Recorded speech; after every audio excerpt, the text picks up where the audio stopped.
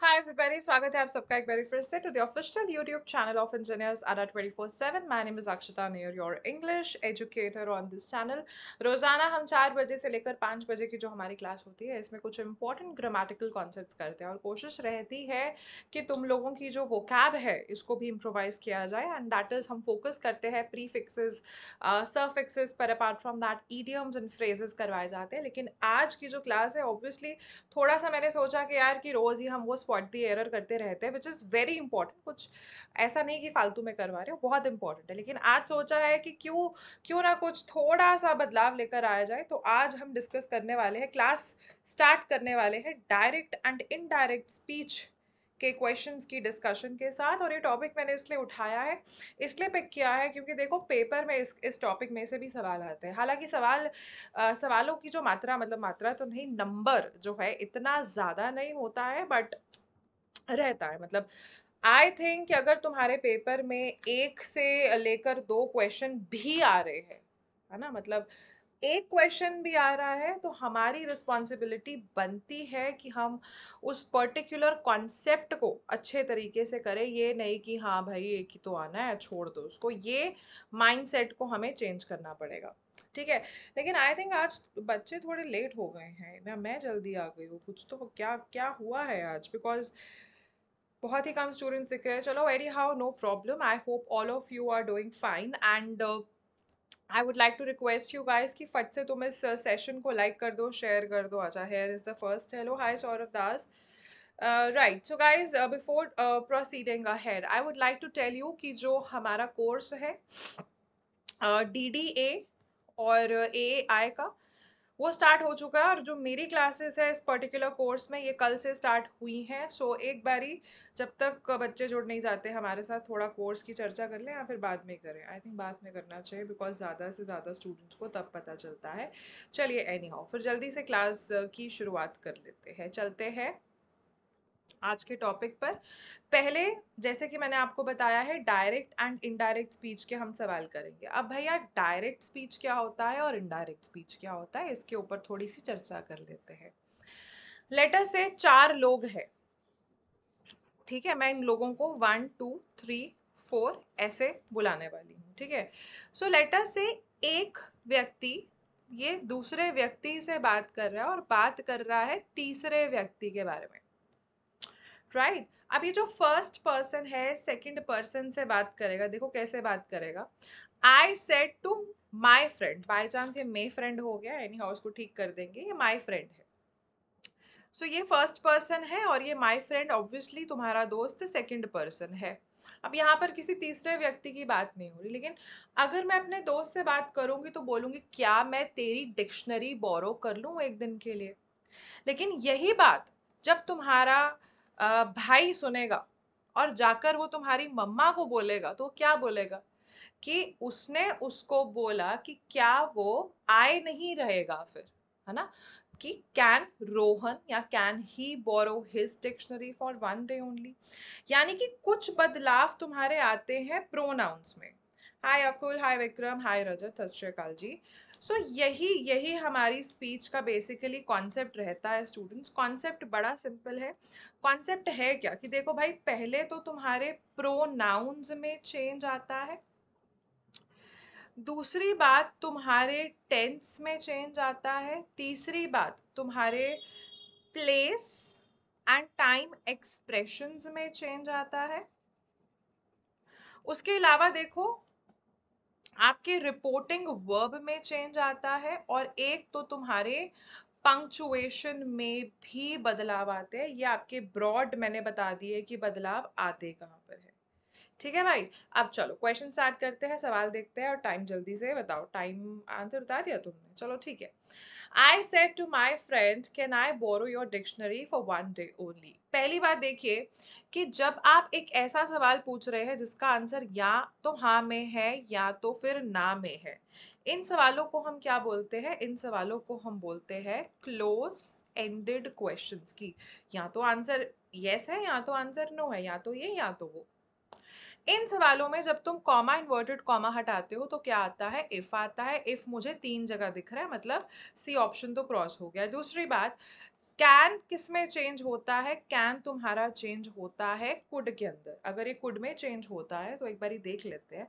D option नहीं हो सकता आपका आंसर बी ऑप्शन भी नहीं हो सकता है आपका आंसर। तो बात सिंपल सी क्या हो गई if I could borrow his dictionary for one day only answer is option number A hi Priyanshi so देखिए, इस प्रकार अगर आपके बेसिक्स क्लियर है कि मॉडल्स में टेंसेस में क्या बदलाव आने हैं, है ना? पंक्चुएशन में क्या बदलाव आना है? ये कॉमा इन्वर्टेड कॉमा की जगह इफ़ आना है कि क्या आना है? अगर ये सब तुमको पता है तो भैया तुम्हारे लिए ये डायरेक्ट इनडायरेक्ट स्पीच बाएँ हाथ का खेल है। चलो, अगले सवाल पर चलेंगे।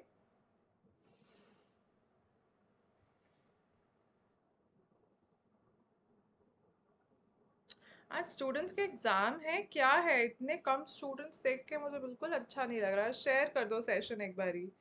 गुड इवनिंग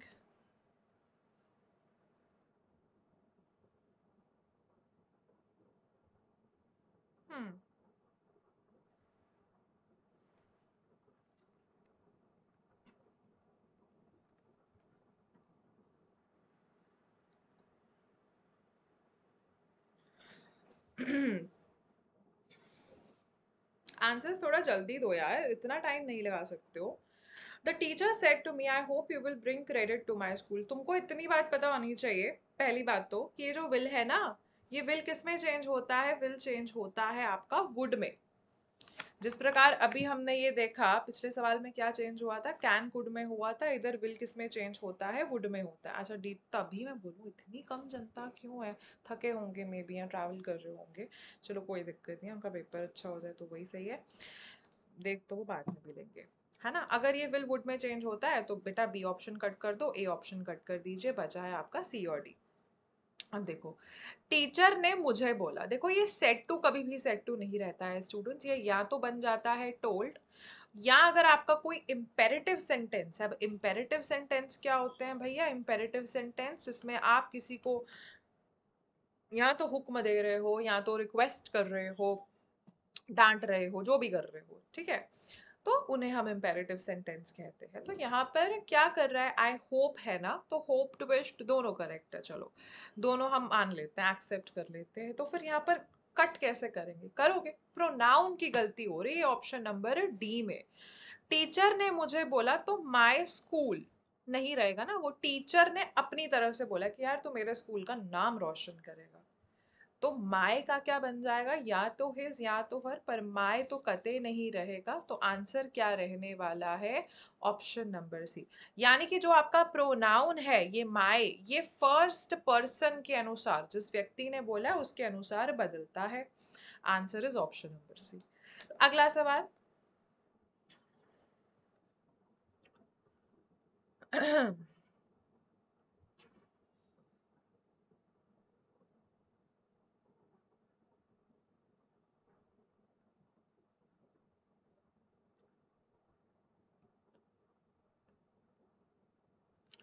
थोड़ा ट्रिकी क्वेश्चन रह सकता है ये वाला। होपिंग कि करेक्ट आंसर्स मिलेंगे।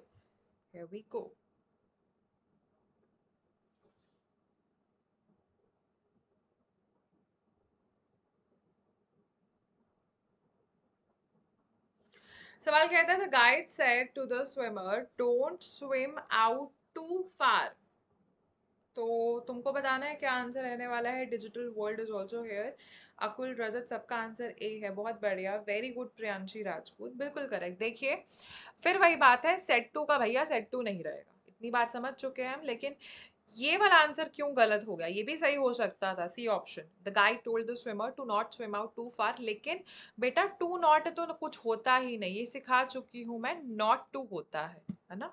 अगर उसने बोला, ये मत कर तो यहाँ पर आता, आना चाहिए था not to swim out too far वो है नहीं तो ये गलत हो गया आपका आंसर ये क्या हुआ? क्या हो गया भाई? तो ये गलत हो गया। अब देखिए D option asked the swimmer from swimming out too far ये तो कोई लॉजिक ही नहीं बन रहा है। उसने कोई सजेशन नहीं दिया है यहाँ पे don't swim out too far अगर तुम लेना भी चाहते हो suggestion but then again it's the better option here is going to be, क्योंकि वो बोल रहा है, मत कर। मत कर, यानी कि उसने उसको रोका है। और कुछ ही दिन पहले मैंने आपको सिखाया है कि रोकने को हम क्या बोलते हैं? फॉरबिड बोलते हैं। और पास्ट टेंस इसका क्या रहता है? वो रहता है फॉरबेड। और ये भी आपको सिखाया है कि फॉरबेड के साथ हम फ्रॉम लगाते हैं और साथ में हम लगाते हैं आईएनजी जिस स्टूडेंट को ये सारी बातें पता है आंसर उसके लिए बहुत आसान होगा फाइंड करना which is going to be option number A I hope that is clear तो चलेंगे अगले सवाल पे। Right right.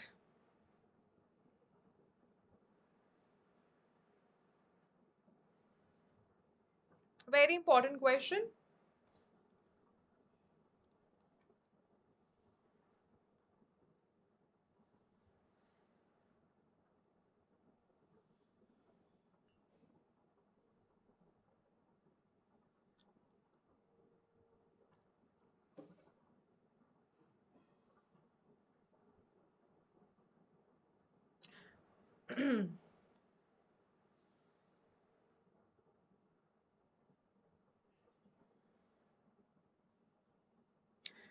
अच्छा बहुत सारे स्टूडेंट्स यहाँ पर डी ऑप्शन बोल रहे हैं but then I would like to ask you why तुम लोगों के अनुसार डी ऑप्शन आंसर क्यों है? जल्दी से बताओ. I L said to my friends I have started learning computer में तुमको डी ऑप्शन करेक्ट लग रहा है, लेकिन किस खुशी में? क्यों है D option correct hmm. So Pallav Sarkaria Sarkar is saying option number A okay but then D is also है चलो, मैं आपको एक्सप्लेन कर देती हूँ। दोस्तों, अभी मैंने आपको बताया कि रिपोर्टिंग वर्ब में बदलाव आता है है ना? कि अगर वो सेट टू है तो वो टोल्ड हो जाता है और अंदर की टेंस भी बदलती है। लेकिन एक बहुत इंपॉर्टेंट रूल यहाँ पर डिस्कस करने की ज़रूरत है, वो ये है, पहले तो रिपोर्टिंग वर्ब क्या होता है? देखो, ये कॉमा इनवर्टेड कॉमा के पहले वर्ब लिखा होगा। वर्ब समझते हो ना? क्रिया। कोई काम है। जैसे कि हो सकता है से, जैसे कि हो सकता है टेल, जैसे कि हो सकता है आस्क, या फिर हो सकता है सजेस्ट। ठीक है? अब यहाँ पर क्या दिख रहा है तुमको? आई अपोस्ट्रॉफी एल एल इसका मतलब है आई विल और लिखा है ऐसे। अगर तुम्हारा रिपोर्टिंग वर्ब ध्यान से सुनो, अगर तुम्हारा रिपोर्टिंग वर्ब प्रेजेंट टेंस में है या फिर फ्यूचर टेंस में है तो भैया अंदर के डायलॉग में कोई चेंज परिवर्तन नहीं आएगा। यानी ये जो कॉमा इन्वर्टेड कॉमा के जो अंदर लिखा हुआ है, जो भी बात लिखी है, कोई भी टेंस मतलब टेंस में कोई भी बदलाव नहीं आएगा। There will be no change in the tense of the reported speech इसे हम क्या बोलते हैं? रिपोर्टेड स्पीच बोलते हैं कॉमा इन्वर्टेड कॉमा में। तो यानी सारी की सारी बात आपकी सेम रहेगी। अगर अंदर हैव स्टार्टेड लिखा है तो वो हैव स्टार्टेड ही रहेगा, वो हैड स्टार्टेड नहीं बन जाएगा। तो क्या आंसर रहना चाहिए? आंसर रहना चाहिए ऑप्शन नंबर डी लेकिन ये किस केस में होता है? जिस केस में रिपोर्टिंग वर्ब या तो प्रेजेंट टेंस में है या तो फ्यूचर टेंस में है। अगले सवाल पर चलेंगे।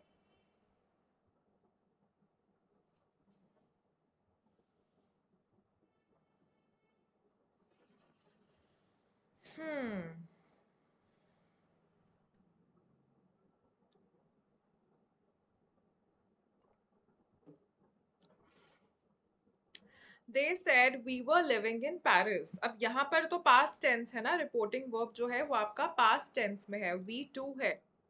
यानी भैया अंदर का टेंस तो बदलेगा ही बदलेगा। अंदर का टेंस एक बार चेक कर लेते हैं, वो लिखा है वर लिविंग वर लिविंग यानी पास्ट कॉन्टिन्यूस टेंस कहने का मतलब जब वॉज़ अ वर और आई एन जी लिखा हो तो उसका क्या बनता है, ये चीज़ आपको याद होनी चाहिए। जल्दी से बताएँगे। बचकाने लोग। Very good everybody Rajat digital world जिस जिसने सी ऑप्शन बोला है, बिल्कुल करेक्ट है। तो ये प्लीज़ नोट कर लीजिए, अगर आपका पास्ट कॉन्टिन्यूस टेंस है, उसका क्या बनता है? उसका बनता है past perfect continuous tense please इसको आपको याद रखना है दैट इज़ हैड रहेगा, फिर बीन रहेगा और फिर आपको वी वन के साथ आई एन जी लगा देना है। वर्ब की पहली फॉर्म के साथ आई एन जी लगा देना है तुमको। तो उस हिसाब से मुझे जो यहाँ पर ये ढांचा है, किधर दिख रहा है, तुमको भी वही दिख रहा होगा। ये दिख रहा है हमको सिर्फ़ ऑप्शन नंबर सी में और वही हमारा आंसर रहेगा। बस ये रूल्स याद रखने कि अगर सिंपल uh, प्रेजेंट है तो वो सिंपल पास्ट में बदलेगा। अगर सिंपल पास्ट है तो वो पास्ट परफेक्ट में बदलेगा। अगर आपका पास्ट कॉन्टीन्यूस है तो वो पास्ट परफेक्ट कॉन्टीन्यूस में बदलेगा। ये बातों का तुम्हें ध्यान रखना है। अगले सवाल पर चलेंगे।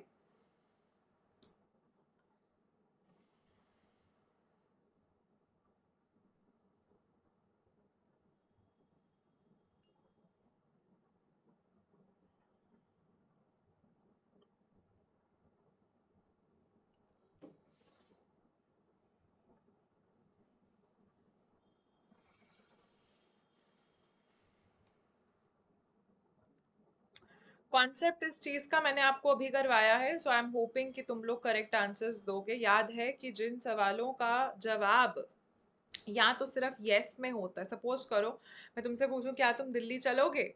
है ना? तो जब आप कॉमा इन्वर्टेड कॉमा हटाते हैं तो उसकी जगह क्या आता है? या तो इफ़ लगा सकते हो या वेदर लगा सकते हो। ये बात जिसको इतनी बात पता है ना, वो ए ऑप्शन आंसर लगा देगा। दूसरी बात देखो विल का क्या बन जाता है? विल का वुड बन जाता है। अब ये ऑप्शन तो कते वैसे भी नहीं हो सकता था। यहाँ पर इफ़ इफ़ मिसिंग है। एक और बात समझिएगा प्लीज़ बहुत इंपॉर्टेंट चीज़ है। इफ़ के बाद जब आप उसे चेंज कर देते हो इनडायरेक्ट स्पीच में, पहले सब्जेक्ट आएगा, क्योंकि जब आप सवाल नहीं पूछ रहे हो, पहले क्या आता है? करता। उसके बाद क्या आता है? हेल्पिंग वर्ब उसके बाद verb so if he would go होगा, है ना? इफ़ वुड ही गो नहीं होगा? इफ़ ही वुड गो होगा, इतनी बात याद रखनी है। Answer is option number A भैया सौरभ, तुमको हम ब्लॉक करने लगे हैं क्योंकि तुम्हारे पास बहुत ही समय है आई थिंक सो व्यर्थ करने के लिए मेरे पास बिल्कुल नहीं है है ना? सो अलविदा, टाटा बाय बाय अगले सवाल पर चलेंगे।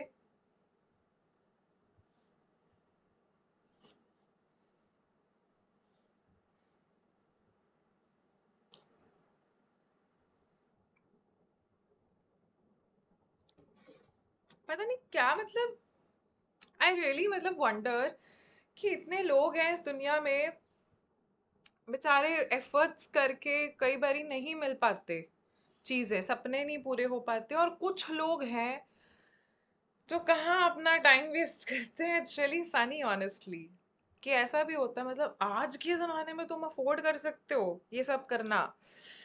भाई बहुत पैसे होंगे तुम्हारे पास फिर तो। हमारे पास तो नहीं है। है ना? हम तो अपना टाइम अच्छी जगह यूटिलाइज करते हैं।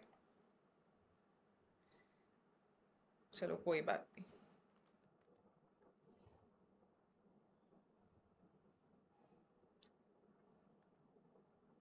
स्किप क्यों करना है? बहुत इजी है। अब देखो गाइस यहाँ पर फिर से एक क्वेश्चन है। दिख रहा है ना क्वेश्चन मार्क लेकिन क्या इसका आंसर येस नो में होगा? तूने अटेंड क्यों नहीं किया? वो बोलेगा, भाई मैं बीमार था। वो बोलेगा, नहीं, मैं पार्टी पर गया था। कोई बोलेगा, नहीं, मैं सो रहा था। समथिंग समथिंग है ना? यानी कि अब इसका आंसर येस नो में नहीं आ रहा। तो इन सवालों को हम क्या बोलते हैं? ओपन एंडेड क्वेश्चंस और इनका हिंट देखो क्या रहता है। जो सवाल है वो स्टार्ट हो रहा होगा वाई से, या फिर स्टार्ट हो रहा होगा वेयर से, या फिर स्टार्ट हो रहा होगा वेन से, या फिर हाउ से, या फिर व्हाट से, या फिर कुछ और भी डब्ल्यू एच क्वेश्चन समझ गए ना तुम? ठीक है? अब जब इन सवालों को आपको चेंज करना होता है इनडायरेक्ट स्पीच में तो क्या करना होता है? आपको ये जो डब्ल्यू एच वाई है ना, या अगर लेटर से वेयर लिखा होता तो आपको आस्ट के बाद वही लिख देना अब प्रिंसिपल ने पूछा है तो आज तो आएगा ही आएगा और अनुज से पूछा है, ठीक है, वो भी आएगा ही आएगा। आपको साथ में क्या लिख देना है? वाई अगर यहाँ पर वेयर होता तो तुम वेयर लिख देते। ये बात क्लियर हुई? एक और चीज़, आस्ट के साथ आपको टू नहीं लगाना है तो ये कट हो जाएगा और एलिमिनेट हो जाएगा ऑटोमेटिकली बातें समझ में आई भाई? तुम्हें why where when how what दिखा, तुमने क्या करना है? आस्ट के बाद सीधा वेयर वाई वेन लगा देना है।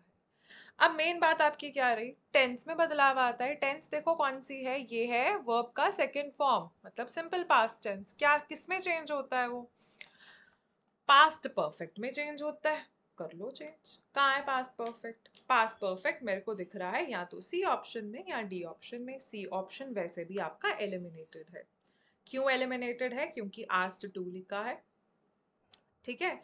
तो उस हिसाब से, उस हिसाब से, एक सेकेंड आई थिंक सो कुछ तो गलती हो गई यार। एक तो गलती हो गई यहाँ पे। गलती मुझसे ये हो गई है कि भाई, ये तो हो नहीं सकता। आज टू अनुज तो होगा ही नहीं, क्योंकि आज अनुज होता है, ये मैंने आपको अभी बताया। अब गलती ये हो गई है कि डी ऑप्शन में भी एक गलती है। वो गलती क्या है? गलती ये है कि सब्जेक्ट पहले आना चाहिए था। मैंने आपको भी बताया है कि ही हैडेंट होगा। ही हैडेंट होगा हैडेंट ही नहीं होगा, क्योंकि तुम स्पीच चेंज कर रहे हो सब्जेक्ट पहले आएगा तो सी ऑप्शन तो गलत है आंसर है option number D direct indirect speech is my गले की हड्डी ओ माय गॉड बातें समझ में आई? आस्ट के साथ तुमको टू नहीं लगाना. Why where what when how आया तो उधर से ही अपना स्टार्ट कर दो. और सिंपल पास्ट बदलता है पास्ट परफेक्ट में तो आंसर रह गया आपका ऑप्शन नंबर डी पर ये वाई हैडेंट ही नहीं वाई ही हैडेंट चलिए, अगले सवाल पर चलेंगे। ओके।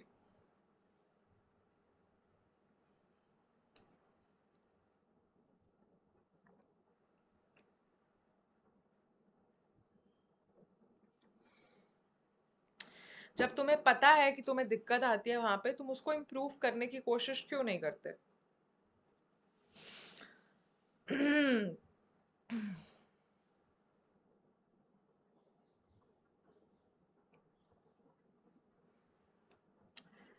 चलिए, ये थोड़ा टेढ़ा सा सवाल है। क्योंकि अक्सर हमें दिया होता है डायरेक्ट स्पीच मतलब कॉमा इन्वर्टेड कॉमा हमको पहले दिया होता है। और फिर हमको इनडायरेक्ट निकालना होता है बट यहाँ पर थोड़ा सा चेंज है। ये आपका इनडायरेक्ट स्पीच है और तुमको डायरेक्ट स्पीच का करेक्ट सेंटेंस बताना है। बड़ा ही सिंपल है। देखो यहाँ पर सी और डी वाला सीन क्या होता है? ऑर्डर्ड कभी भी तुमने देखा है डायरेक्ट स्पीच में ऑर्डर्ड लिखा होगा? क्या लिखा होता है? क्या लिखा होता है? सेट टू लिखा होता है। और सेट टू को हम बदलते हैं ऑर्डर्ड में या रिक्वेस्टेड में या फिर फॉरबेड में या फिर प्रोहिबिटेड में लाइक like दैट है ना? यानी कि ये तो आप कट ही कर दो।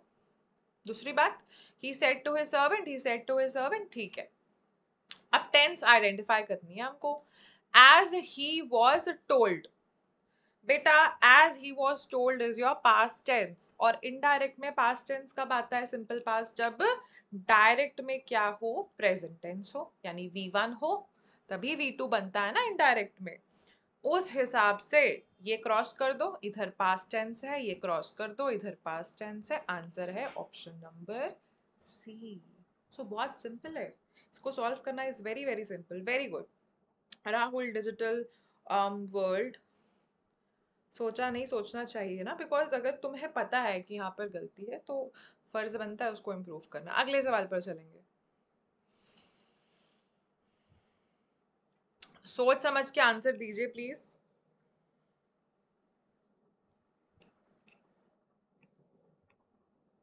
right guys please make sure कि तुमने इस सेशन को, इस वीडियो को लाइक कर दिया है और शेयर भी कर दीजिए। अभी मात्र मुझे नौ लाइक्स दिख रही है मतलब नो वर्ड्स अच्छा लगता है मतलब मैं एक घंटा आती हूँ, यहाँ पर पढ़ाती हूँ और मतलब मैं शाम को देखती हूँ ओके मतलब कभी कभी कमेंट्स होते हैं स्टूडेंट्स के कुछ डाउट्स होते हैं आई सी की वीडियो को देख लो, चलो कोई कमेंट तो नहीं आया वहाँ पर। और वहाँ पे नौ लाइक्स हैं। अच्छा लगेगा, बताओ। हाय मेरे रब्बा। चलो, सवाल देखते हैं। You said to me why are you talking so much again there is a question so said to का बन जाना है? आस्ट क्या दिखा तुमको? वाई तो वाई से स्टार्ट कर दो। अब देखो टेंस कौन सा है? Are talking present continuous tense किसमें बदलेगा? पास्ट कॉन्टिन्यूस टेंस में बदलिएगा। बी ऑप्शन एलिमिनेट हो गया। क्योंकि उसमें परफेक्ट कॉन्टिन्यूस लिखा हुआ है। है ना? अच्छा ठीक है। अब देखो, यहाँ पर you said to me why are you talking so much so you ये जो वर्ड लिखा है यू इसका क्या बन जाना है? इसका बन जाएगा आई सेशन पसंद आएगा फिर लाइक तो मतलब तुम बड़े वेले हो, तुम्हें सेशन पसंद भी नहीं आ रहा, तुम फिर भी आते हो रोज एक घंटा यहाँ पर सेशन देखने। ये सही है मतलब? तो ये ही नहीं आना चाहिए, ही को क्रॉस कर दो। अब देखो, इसमें और इसमें क्या अंतर है? इसमें हेल्पिंग वर्ब पहले है और इसमें सब्जेक्ट पहले है। हमने क्या सीखा है? इनडायरेक्ट स्पीच में पहले सब्जेक्ट लगाना है हमको, जब क्वेश्चन वाला सेंटेंस है। तो आंसर क्या रहने वाला है? ऑप्शन नंबर सी ठीक है? चलो, बहुत सिंपल हो गया। आप अगले सवाल पर, सवालों पर चलेंगे। फिल इन द ब्लैंक से आपके नेक्स्ट सेट ऑफ़ क्वेश्चंस चलते हैं फ़र्स्ट क्वेश्चन पे।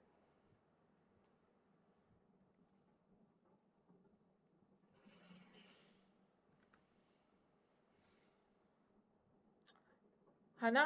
सही बात है निखिल, मैं भी यही सोचती हूँ।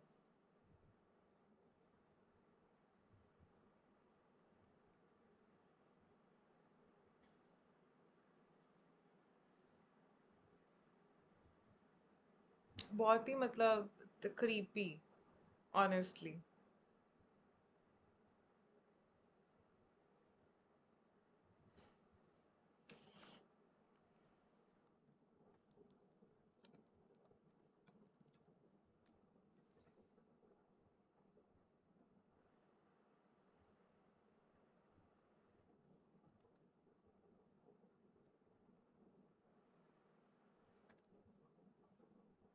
ए करेक्ट होगा ऑल राइट देख लेते हैं। वेरी गुड एवरीबडी बेसिकली ये एक ईडियम का सवाल है। फिलअप, मुझे नहीं आते हैं। सीखो, आएँगे। यही तो हम सीखने आए हैं ना यहाँ पे, Priyanshi so Virat Kohli added another feather dash his cap तुम्हें यहाँ बताना है प्रेपोजिशन कौन सी आनी है? अब देखो, तुम्हें लगेगा, मैम इनटू आ सकता है ऑन आ सकता है, कुछ भी आ सकता है, कुछ भी नहीं आ सकता है। एक मुहावरा बना हुआ है और उसी हिसाब से आपका आंसर रहेगा। बी ऑप्शन नहीं है। नहीं है। देखिए, जो आपका करेक्ट ईडियम रहता है, वो क्या रहता है? Add another feather in one's cap या योर कैप या फिर हिज कैप तो जो आपके ईडियम जिस प्रकार बने हुए हैं, हम उसको उसी प्रकार ही इस्तेमाल कर सकते हैं। अपना लॉजिक नहीं लगा सकते कि नहीं मैम टू ज़्यादा सूट कर रहा है। नहीं नहीं, वो कैप के अंदर डाल रहा है तो ये एक मूवमेंट है तो इनटू आएगा। ऐसा नहीं होता। ठीक है? सो so, यहाँ पर मुहावरा ही क्या है कि फेदर इन वंस कैप होता है? आंसर क्या रहेगा? ऑप्शन नंबर ए एक चीज़ ये समझ लीजिए। यार तुम चलो ठीक है। अब लिखते जाओ। राहुल कुमार तुम भी लिखो और मोहन वर्मा तुम भी लिखो। जो लिखना है लिखते जाओ। चलो। द पॉइंट इज़ एक चीज़ समझ लो ये जो मुहावरा है add an other feather in one cap इसका मतलब है कि तुमने लाइफ में कुछ हासिल कर लिया जो बहुत लोग नहीं कर पाते क्योंकि वो फालतू चीज़ों में टाइम व्यस्त व्यर्थ करते रहते हैं। सो so, हमको वो नहीं करना है एवरीबॉडी हमें मेहनत करनी है डेडिकेशन से प्रॉपर कंसिस्टेंसी से हमको अपने टारगेट को अचीव करना है।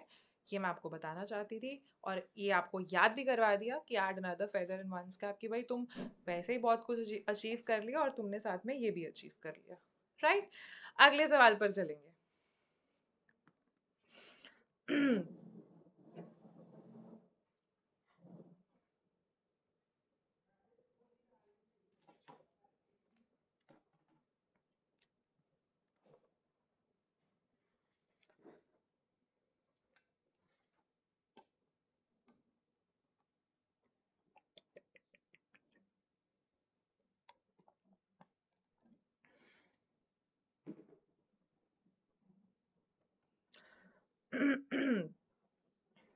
Very good everybody it is dash for every one to abide by देखो अबाइड का मतलब होता है फॉलो ठीक है? और याद रखो, ये अबाइड के साथ यही प्रेपोजिशन आती है बाय जब तुम अबाइड बाय करते हो रूल्स रेगुलेशंस के साथ तो उसका मतलब क्या है कि तुम उनको फॉलो करते हो? तो कहता है, ये हर किसी के लिए क्या है? एक्सपेक्टेड है एक्सपेक्ट के साथ तो फ्रॉम आता है।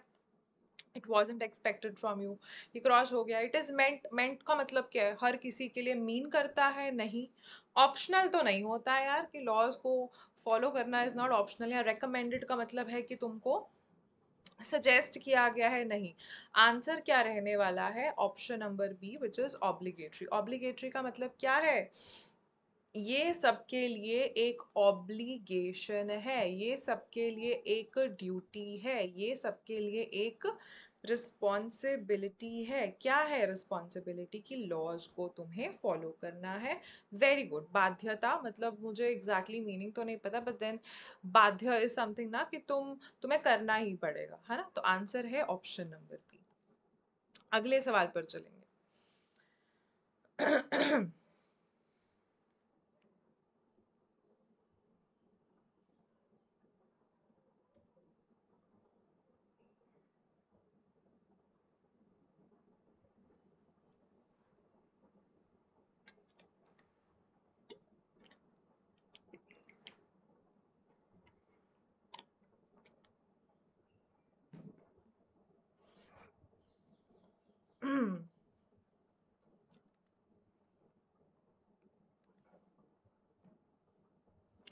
सवाल है कि I have not done things which any one else में फील आर डैश रिकॉर्डिंग मैंने वो चीज़ें नहीं की है जो कि कोई अन्य व्यक्ति महसूस करेगा। आर यूजलेस रिकॉर्डिंग कुछ नहीं होता है। यूजलेस का मतलब होता है बेकार। देखो, अगर तुमने नहीं किया है वो चीज़ जो कि दूसरे लोग सोचेंगे, क्या रहेगा आंसर आई थिंक इसको एक्सप्लेन करने की भी ज़रूरत नहीं। गुड रिकॉर्डिंग नहीं होता है। मतलब रिकॉर्ड करने के लायक है। बेसिकली तुमको क्या यहाँ पर क्या लिखना चाहते हो? रिकॉर्ड करने के लायक है। अब एक बारी सेंटेंस पढ़ते हैं। मैंने वो चीज़ें नहीं की है जो कि कोई अन्य व्यक्ति समझेगा या सोचेगा कि रिकॉर्ड करने के लायक है। यहाँ पर एक ही वर्ड मैच करता है दोस्तों विच इज़ वर्थ वर्थ का मतलब कि यार इस चीज़ के लायक है, इसकी वर्थ है, इतनी करने लायक है कि नहीं? So answer is option number B historic recording bad recording making absolutely no sense अगला सवाल। Important question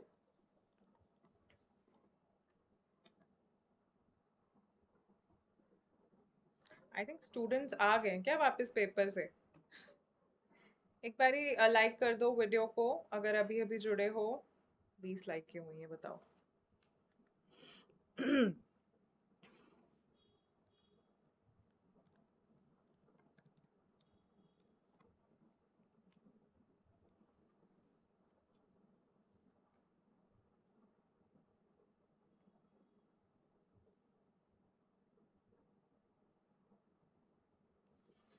Atul Singh option number B बेटा वाइड ऑप्शन कैसे हो सकता है?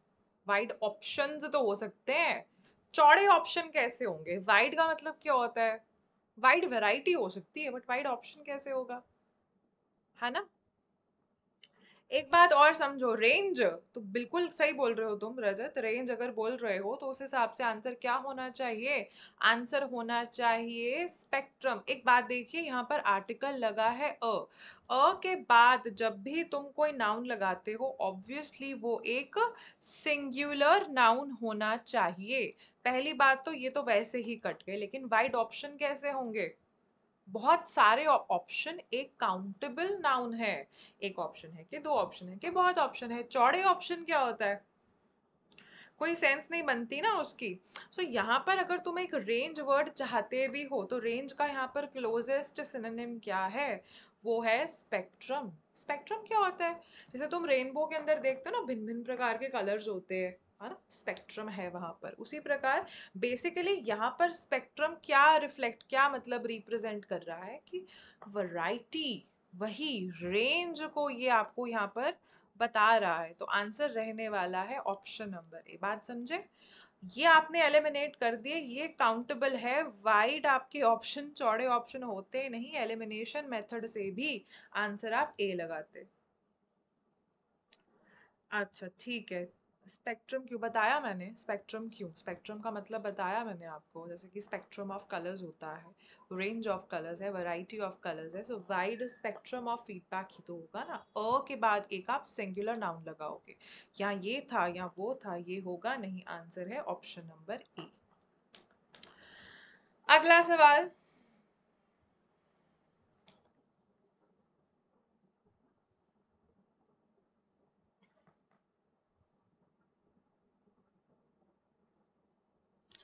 आपका स्पोकन कोर्स नहीं है? No actually I was teaching on spoken English made easy channel before like back in I believe October and November I taught there but अभी I am preparing students for competitive English so I am here only but अगर आप चाहते हो तो आप उस channel पर जा सकते हैं। वहाँ पर ओदिशा मैम एंड जो भी बाकी फैकल्टीज हैं, वो पढ़ाती हैं। आप उनके लेक्चर्स अटेंड कर सकते हैं।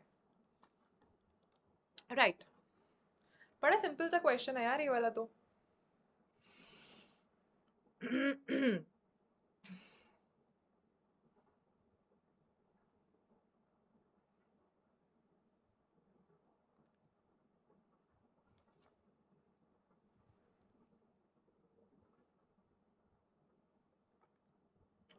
वेरी गुड एवरीबॉडी देखिए क्वेश्चन एक बारी पढ़ लेते हैं। एग्रीकल्चर मिनिस्ट्री ने इंडिकेट किया है सप्लाई डैश सप्लाई क्या इंडिकेट उसने किया है?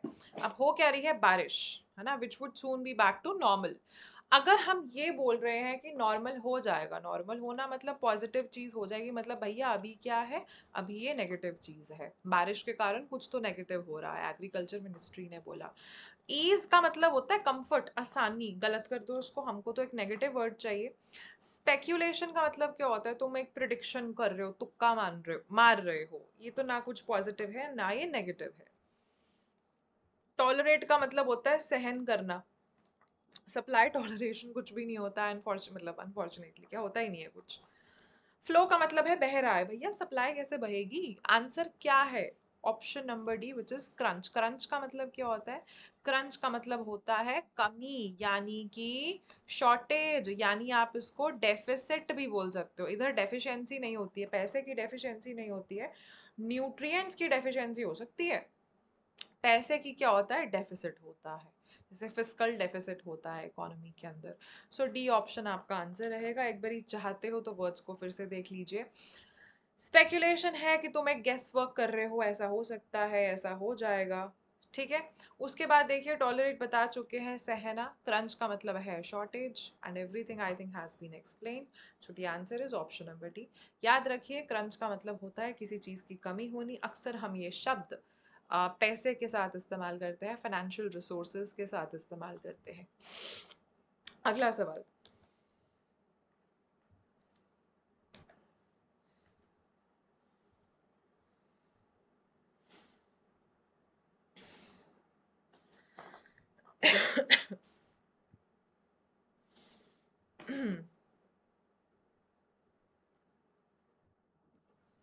He was a rich man वो एक अमीर आदमी था तो मैं सरप्राइज़ हो गया जब मैंने उसको इन कपड़ों में देखा। देखो, वो था अमीर, और तुम हो गए सरप्राइज़। सरप्राइज़ तुम हुए तो ऑब्वियसली देखो, अगर तुम अमीर को अच्छे कपड़े में देखोगे तो तुम सरप्राइज़ नहीं होगे ना, क्योंकि दैट्स नॉर्मल यू नो कि बंदा अमीर है तो कपड़े अच्छे पहने होंगे, है ना? ब्रांडेड वाले जो भी पहने होंगे। सरप्राइज़ कब हुए होगे? जब तुमने कुछ उल्टी चीज़ देख ली मतलब यू एक्सपेक्टेड समथिंग एल्स और देखा कुछ और, है ना? तो यानी यहाँ पर कुछ तो नेगेटिव वर्ड आएगा। अब देखो लोकल का मतलब है बहुत सारे बच्चों को लगेगा लोकल कि हाँ मैम ब्रांडेड और लोकल कपड़े होते हैं ना? चलो, एक बार यहाँ पर इसको डॉट लगा लेते हैं। डैम्प का मतलब क्या होता है? स्लाइटली वेट, हल्का गीला। ये कोई सेंस नहीं बनती। फॉरेन क्लोथ्स क्या हुआ? स्प्लेंडेड का मतलब क्या होता है? स्प्लेंडेड का मतलब है बेशुमार मतलब बहुत ही बढ़िया। ये तो पॉजिटिव वर्ड है, क्रॉस कर दो। हम, हमको नहीं चाहिए। आंसर देखिए, बेटर आंसर क्या लग रहा है? आपने उसको लोकल कपड़ों में देखा तो एकदम से चौक गए कि तुमने फटे हुए कपड़ों में देखा या पुराने कपड़ों में देखा। बिल्कुल करेक्ट है। टैटर्ड आपका आंसर रहेगा। टैटर्ड का मतलब क्या होता है? टैटर्ड क्लोथ्स का मतलब होता है कि बहुत ही बेकार कपड़े, बिल्कुल फटे पुराने कपड़े हैं। उसे हम बोलते हैं tattered clothes so answer is option number A fashion होगा। अच्छा ठीक है। हाय राशिद हम्म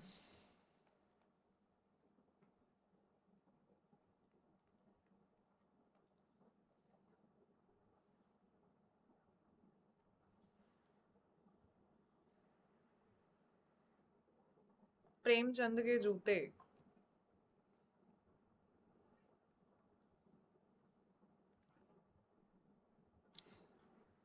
सही बात है। टैटर्ड जीन्स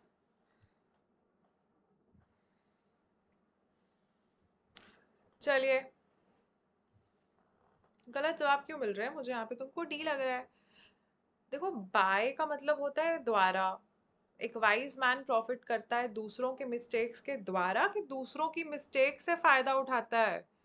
है ना? थ्रू का मतलब है उधर से, उसके इधर से पास होते हुए, है ना?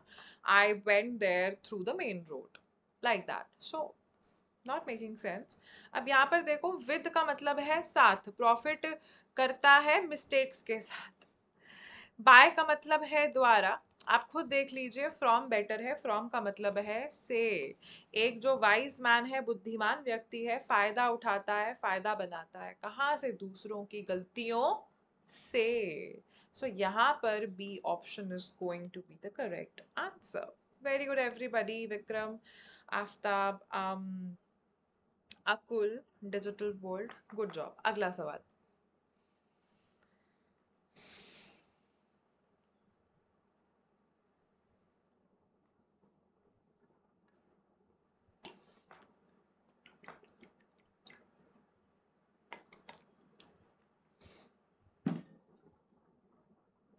थ्योरी नहीं पढ़ाएँगे थ्योरी डेफिनेटली चल रही है आप हमारा बैच ज्वाइन कर सकते हैं।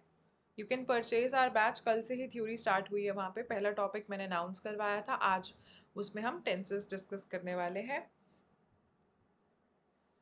सो so, वो पेड बैच में है जो कि आप बाय कर सकते हो and to get maximum discount don't forget to use this code which is five three five seven yes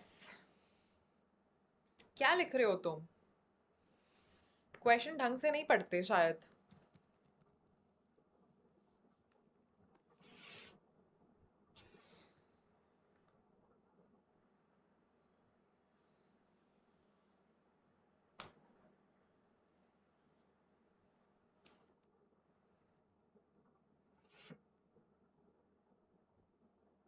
चलो देखते हैं। कहता है, गाँव वालों में एक ग्रोइंग इनडिफरेंस है। व्हाट इज़ इनडिफरेंस इनडिफरेंस का मतलब होता है कि जब तुम्हें किसी के बारे में कोई चिंता नहीं है, तुम्हें कोई हमदर्दी नहीं है, तुम्हें कोई फ़र्क नहीं पड़ रहा there is a lack of concern there is a lack of sympathy obviously ये एक नेगेटिव माहौल को रिफ्लेक्ट कर रहा है कि भाई किसी को किसी की परवाह नहीं थी उस गाँव के अंदर। अगर परवाह नहीं थी तो अब अगला पार्ट पढ़िए। Dash of them bothered to extinguish extinguish का मतलब क्या होता है? बुझाना। गलत स्पेलिंग लिखती है शायद। इसका मतलब क्या होता है? बुझाना। आग बुझाना which broke out broke out का मतलब है लगी। हटमेंट्स का मतलब वही, जो भी वो हट्स के अंदर आग लगी। तो अगर उनको एक दूसरे की चिंता नहीं थी तो तुम कह रहे हो, बहुत सारे लोगों ने आग बुझा दी। क्यों बुझाएँगे वो? फ़र्स्ट सेंटेंस में लिखे हैं कि चिंता नहीं है there is a lack of concern there is a growing in difference the माहौल इज़ नेगेटिव तो लोग क्यों जाकर बुझाएँगे आग? मोस्ट नहीं मैनी नहीं. लिटल हम लोगों के साथ लगा नहीं सकते क्योंकि ये हम अनकाउंटेबल नाउन के साथ लगाते हैं. काउंटेबल नाउन के साथ नहीं लगाइएगा, ये चीज़ पता होनी चाहिए। एवरीवन नहीं बुझाएँगे जाकर आंसर रहेगा option number C few of them मैंने आपको ये चीज़ भी सिखाई है the difference between few and a few few का मतलब है बहुत कम. ना के बराबर. और अ फ्यू का मतलब क्या है? थोड़े. हाँ जी. तो थोड़ा सब लोग मुझे लगता है इग्नोर कर दिए यहाँ पर कॉमन सेंस को. अगला सवाल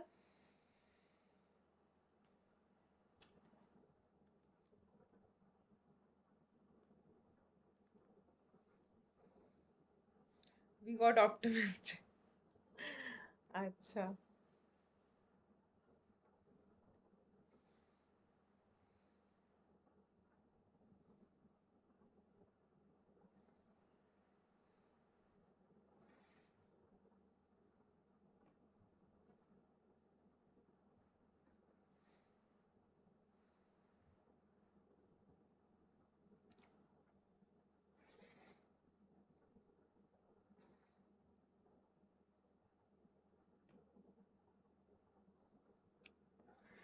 चलिए बहुत बढ़िया। Shoppers are often dash to share their financial information financial information का मतलब क्या है? पैसे से रिलेटेड जानकारी। पैसे से रिलेटेड जानकारी। स्मॉलर मर्चेंट्स के साथ शेयर करने में जो शॉपर्स हैं, वो अक्सर क्या रहते हैं? देखो, पैसे के बारे में जानकारी देने में लोग क्या रहेंगे? बिज़ी रहेंगे। हम बड़े बिज़ी हैं, आज मैं बहुत बिज़ी हूँ, आज अपने पैसों के बारे में नहीं बता सकता, ये कोई मैच नहीं करने वाला। ऑफन इंटरेस्ट नहीं हो सकता। पहली बात तो ये समझो, यहाँ पर तुमको एक विशेषण लगाना है, तुमको एक एडजेक्टिव लगाना है है ना? वो क्या रहते हैं? कोई नाउन नहीं लगाना है है ना? सो so, यहाँ पर देखिए ये भी नहीं हो सकता है। ट्राई एक वर्ब है इंटरेस्ट एक नाउन है वैसे भी ये नहीं हो सकते। बचा है रिजिलियंट और हेजिटेंट। दोनों आपके विशेषण है लेकिन इनके अर्थ पे डिपेंड करता है आंसर कौन सा लगेगा यहाँ पे। रिजिलियंट का मतलब क्या होता है? लेटर से तुम्हारी लाइफ में बहुत बड़ा बदलाव आता है और वो बदलाव थोड़ा सा मतलब नेगेटिव सेंस में है। लेकिन अगर तुम्हारे अंदर वो क्षमता है वो एबिलिटी है उस धक्के को सहन करने की तो तुम क्या हो मेरे दोस्त? तुम हुए resilient so what is who is a resilient person a person who is able to handle unpredictable situations in his life that person मतलब एकदम से कुछ भी हो गया लेकिन वो एक डटा रहा कोई बात नहीं देख लेंगे सहन कर लेंगे झेल लेंगे। सो so, यहाँ पर वो भी नहीं मैच करने वाला। वो क्या होते हैं कि मेरे को अपनी फाइनेंशियल इन्फॉर्मेशन शेयर नहीं करनी है। मतलब वो क्या करते हैं? वो हिचकिचाते हैं। वो बोलते, सोचते हैं कि भैया हमको नहीं शेयर करना। आई एम सो सॉरी अपने पैसों के बारे में मैं नहीं बताऊँगा। So answer is option number E very good अगले सवाल पर चलेंगे। हम्म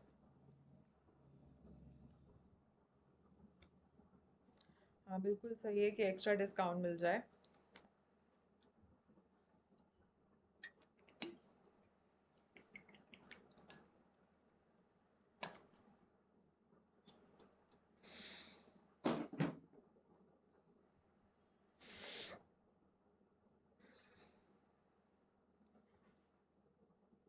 द चाइल्ड बच्चे ने अपने पापा के प्लान को अप्रूव नहीं किया। तो ये फिक्स्ड प्रेपोजिशन का सवाल है। अप्रूव का मतलब क्या होता है? कि तुम्हारे पापा ने ये प्लान बनाया पर बच्चा कहते हैं नहीं नहीं मेरे को तो नहीं जम रहा पापा आई एम सो सॉरी हम हमसे ना हो पाएगा। सो so, याद रखो ये जो वर्ड अप्रूव है इसके साथ आपकी एक फिक्स्ड प्रेपोजिशन आती है स्टूडेंट्स जिसका नाम है ऑफ़ विद नहीं होता है जैसे कॉम्प्लाई के साथ विद होता है कॉम्प्लाई विद मतलब मानना है ना? लेकिन अप्रूव के साथ हमेशा ऑफ़ आता है। I don't approve of this मैं uh, इस चीज़ में तेरे साथ नहीं हूँ। मेरी हाँ नहीं है तेरे इस निर्णय में। तुम अपने एक्शंस uh, के लिए खुद रिस्पॉन्सिबल हो। ठीक है? सो अप्रूव के साथ आपको क्या लगाना है? ऑफ़ लगाना है। आंसर रहने वाला है। सी ऑप्शन चलो कोई बात नहीं याद रख लेना रजत। अगला सवाल ओके कुछ सवाल स्टूडेंट्स हम करने वाले हैं स्पेलिंग्स के। चलते हैं स्पेलिंग्स के क्वेश्चंस पे। Just give me a minute hmm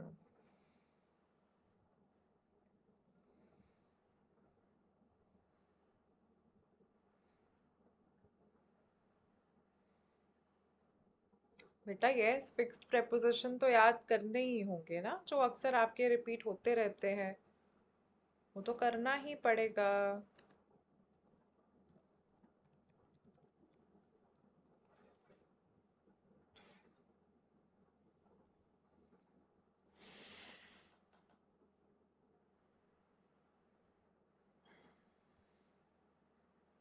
very good Priyanka आप बहुत लेट आए हो, लेकिन आज दस मिनट बचे और तुम अब आ रहे हो।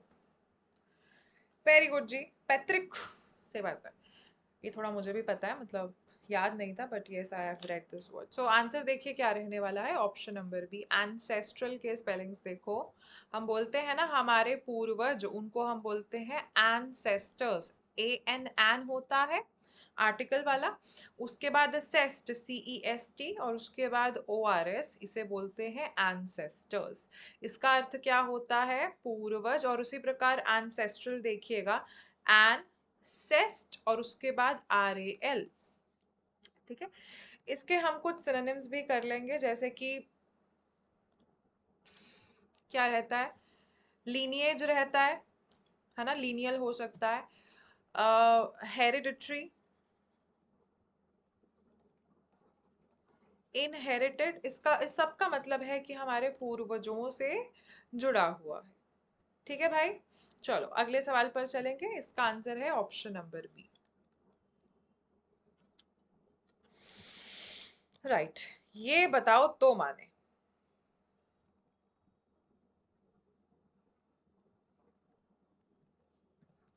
आई थिंक ये हमने वन वर्ड सब्सटीट्यूशन में किया होगा।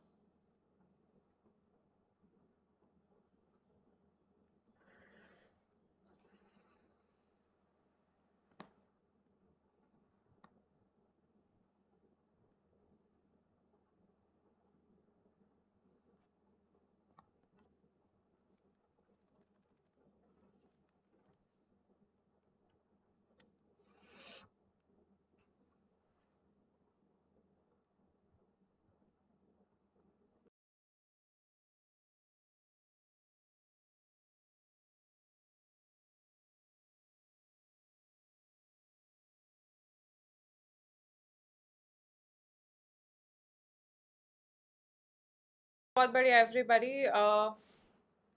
मोस्टली स्टूडेंट्स ने यहाँ पे बी ऑप्शन बोला है कुछ कुछ ने डी भी बोला है, पर चलो आंसर आपका क्या है N N S S confirmed ठीक है, बहुत बढ़िया, अच्छी ट्रिक है ये।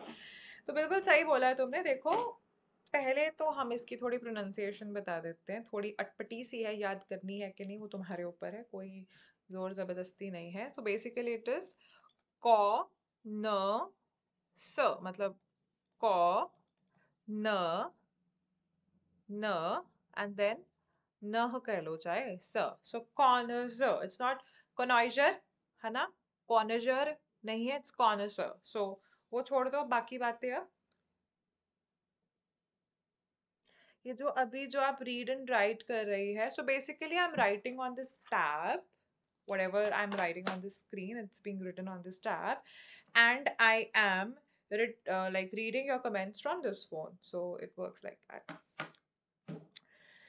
चलिए कौन ज़ बोला जाता है? इसको इसके स्पेलिंग्स की पहले बात करते हैं फिर मीनिंग की बात। No it does not mean authority भाई। बिल्कुल गलत मीनिंग बता रहे हो तो मकुल यहाँ पे। पहले तो इसके स्पेलिंग्स देखो। डबल एन आता है डबल एस आता है जिस बच्चे को ये बात पता होगी लेटर से है ना? तो ये कट हो जाएँगे ऑटोमेटिकली आंसर ये है। बट लेटर से कि इधर भी डबल एस होता फिर हम क्या करते हैं? कहीं पर डबल एन होता तो हमें कुछ ना कुछ उधर याद करना पड़ेगा तो उसको जरा कट करते हैं देखते हैं। कौन? सी ओ एन कौन? मतलब चोर जो होता है। Why are you ignoring my question कौन सा क्वेश्चन पूछ लिया तुमने? दिखा ही तुम्हारा अभी है मुझे क्वेश्चन सो so, पहले कौन आ गया? उसके बाद देखो यहाँ पर नॉइस होता है ना नॉइस का मतलब है शोर। नॉइस का मतलब है शोर लेकिन इस वाले नॉइस में डबल एस आता है क्योंकि डबल एस हमने याद किया हुआ है। सो so, कॉन और उसके बाद N O I double S E noise और उसके बाद यू आर समझ गए? दोबारा देखते हैं। पहले कौन लगाना है उसके बाद शोर के स्पेलिंग्स लिखने थे बट याद रखना है कि हमको डबल एस लिखना है तो नॉइस हो गया और उसके बाद क्या लगाइएगा? यू आर तो ये बन गया कौन तुमने कनॉइजर बोलना, कोई दिक्कत नहीं, बोल लो मेरे को कुछ लेना देना नहीं है अभी। हम स्पोकन इंग्लिश नहीं, हम अपना वो कर रहे हैं काम, वो कैप वाला। अब इसके मीनिंग पर चलते हैं। इसका मीनिंग बिल्कुल अथॉरिटी से रिलेटेड नहीं है। देखिए बेसिकली हम कॉनिजर एक ऐसे व्यक्ति को बोलते हैं, जो टेस्ट स्वाद के मामलों में बहुत माहिर है। मतलब जज की तरह वो एक्ट कर सकता है। कोई कुकिंग कंपटीशन है है ना? और अगर हम इसको ब्रॉड टर्म्स में देखें तो ना सिर्फ़ टेस्ट के मामले में बट संगीत के मामले में तो बेसिकली आर्ट के कला के मामले में ये व्यक्ति क्या होता है? ये एक्सपर्ट होता है एक्सपर्ट जज वैसे तो अक्सर हम इसको टेस्ट के मामले में इस्तेमाल करते हैं बट म्यूज़िक आर्ट भी हो सकता है। राइट right, चलिए अगले सवाल पर चलेंगे। हम्म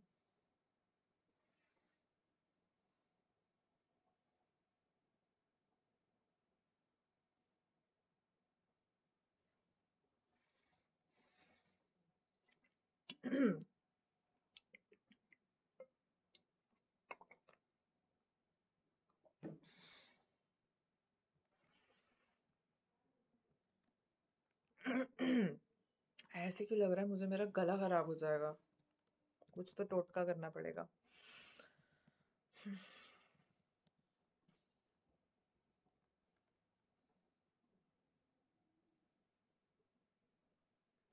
पूरी ग्रामर पढ़ने के बाद भी एरर वाले क्वेश्चन नहीं सॉल्व हो पाते, इसके लिए क्या किया जाए ma'am please guide because maybe आप सिर्फ़ ग्रामर पढ़ रहे हो, लेकिन आप वो इम्पोर्टेंट रूल्स नहीं देख रहे हो, जो कि अक्सर पूछे जाते हैं पेपर में। कुछ हमारे फिक्स क्वेश्चंस रहते हैं, जैसे पेजेस आफ्टर पेजेस नहीं होता पेज आफ्टर पेज होता है फाइव स्टार्स होटल नहीं होता है फाइव स्टार होटल होता है।